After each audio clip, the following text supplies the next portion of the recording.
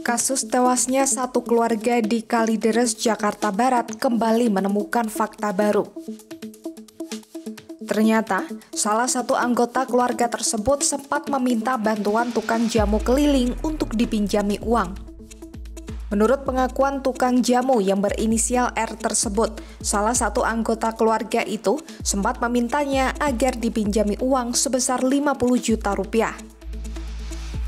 R mengaku uang puluhan juta itu akan digunakan untuk operasi kerabat. Meski begitu, R mengatakan bahwa sikap keluarga yang ingin meminjam dirinya uang itu sebenarnya tak mengherankan.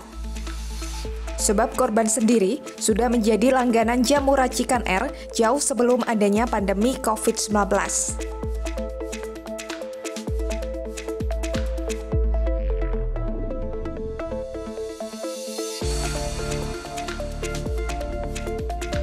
Sebelumnya, empat orang anggota keluarga ditemukan tewas di dalam rumahnya di perumahan Citra Garden 1 Kalideres, Jakarta Barat pada Kamis 10 November 2022.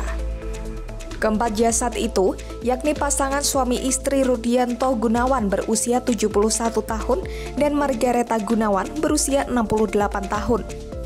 Selanjutnya, yakni anak Rudianto dan Margareta yakni Dian berusia 40 tahun serta Budianto Gunawan selaku adik Margareta.